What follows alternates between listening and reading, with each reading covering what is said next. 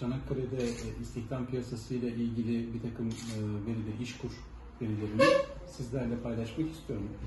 Biz e, 2022 yılında 15.375 açık iş ilanı almışız. Bu sene e, için çok çok iyi bir sayı bu. Daha önceki yıllara oranlarsak yani 2022'nin %50 üzerindeyiz. Daha henüz 11. ay verilerini söylüyorum. 12. aydan üstüne gelecektir. Yani benim bir iddiam vardı hatırlarsınız daha önce de konuşmuştuk. Çanakkale iş üreten bir şehir diye. Bu sayılara da yansıdığını buradan görebiliyoruz. Aynı şekilde 8879 kişiyi özel sektörde iş kur aracılığıyla işe yerleştirmişiz. Yani bu ilanlarımızı 8879 kişiyi işe yerleştirerek bir kısmını en azından karşılamışız ama bir kısmını da karşılayamamışız. Dolayısıyla ürettiğimiz her işe de biz eleman temin edememişiz. Buradan bunu anlayabiliyoruz. Kadın işe yerleştirme sayılarımız enteresan.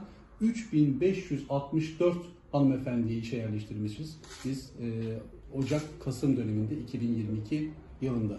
Yine aynı şekilde e, yüksek öğretim mezunlarından 1954 kişi işkur aracılığıyla Çanakkale'de işe yerleştirilmiş. Bu da neredeyse her dört işe yerleştirmeden biri yüksek öğretim mezunu anlamına gelir ki biliyorsunuz daha önceki yıllarda işkur e, işe yerleştirmeleriyle ilgili olarak